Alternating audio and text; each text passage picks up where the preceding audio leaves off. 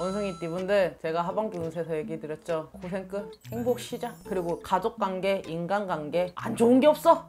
다 좋아. 안녕하세요. 태극신당입니다. 원숭이랑 닭띠인데 네. 선생님이 원숭이 띠를 무지하게 좋아하셨던 걸로 기억해요. 맞아요. 원숭이 띠는 제가 좋아한 게 아니라 우리 애기 씨가 좋아한 거죠. 아, 네. 네. 아, 선생님은 그냥 그런데 네, 애기 씨가 좋아한 거죠? 아니요 원숭이 띠 여러분 오해하지 마세요. 네. 원숭이 띠 여러분 저도 좋아합니다. 많이 좋아합니다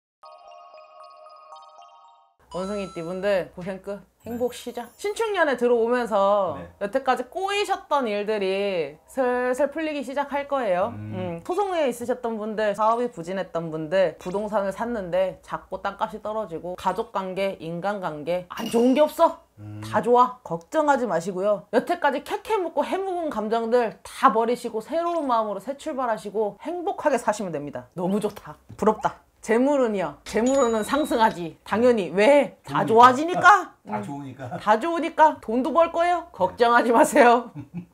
대신 열심히 사세요. 열심히 안 사시는 분들은 없지만 열심히 사시면 일단 운은 들어오니까 걱정하지 않으셔도 될것 대신에 같아요. 팩트는 이게 가만히 있는다고 그렇게 되는 건 아니잖아요. 아 그건 누구나 똑같은 거야. 그죠? 예. 애정은 굿이에요. 그죠? 좋겠죠, 당연히. 너무 좋아요. 네. 음, 부부간에도 갈등이 많았어요.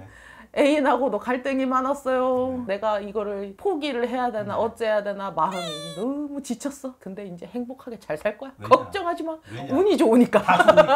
그래서 건강까지 좋아요. 음. 음, 내가 참 원숭이띠 분들이 마음이 아팠던 게 뭐였냐면 내가 진짜 고만 살까 이런 음. 생각까지 했었던. 충동적인 생각들. 어. 왜냐면 너무 힘들었어. 진짜 어떤 분들은 금전적으로 안 따라주면 그래도 뭐 식구들이 사이가 좋던가 그쵸, 그쵸. 아니면은 뭐 인간관계에서 조금 좋거나 이런 부분들이 따르는데 이분들은 진짜 다 안 좋았거든. 음. 너무 힘들었거든. 근데 이제 운 세가 좋잖아요? 네. 음, 좋으니까 네. 건강도 좋아요. 안 아파요. 몸과 마음이 지쳤던 것도 다 풀어지니까 걱정하지 마시고 새롭게 신축년을 맞이하셨으면 박수 좋겠습니다. 시원하게 한번 쳐주세요. 짝짝짝짝짝.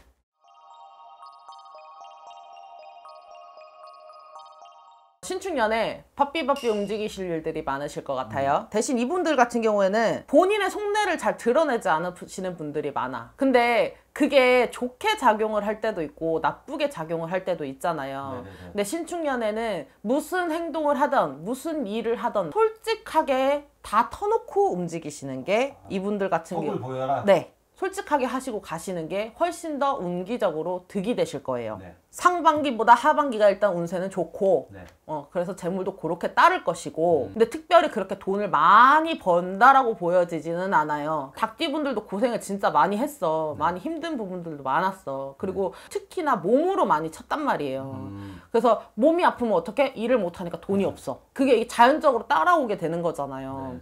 그래서 이분들 같은 경우에도 막 그런 것 쪽으로 힘드셨는데 네. 재물 운도 점점 상승하고 있으니까 걱정하지 않으셔도 되고 부부 사이 애정 전선도 문제 없습니다. 음. 음, 다만 건강적인 면에서는 바삐 움직이시다 보니 총총총총총총 이러고 다니실 거 아니에요. 음. 잘못하다가 발 헛디뎌서 낙상 사고 있으실 수도 있으니까 음. 그것만 조심하시면 되실 것 같습니다. 자, 그러면은 원숭이띠랑 닭띠분들한테 하반기 인사 또 마무리 잘 하시라고. 네. 근데 좋은 게 많으셔가지고 뭐, 뭐 무슨 말씀을 드려야 될까요? 뭘 무슨 말씀을 드려요? 축하를 해드려야지. 축하해 주세요. 네, 원숭이띠, 닭띠 여러분들 여태까지 고생 진짜 많으셨어요. 신축년에는 우리 돈 많이 벌고 행복하게 살아요. 여기까지 태극신당이었습니다. 감사합니다.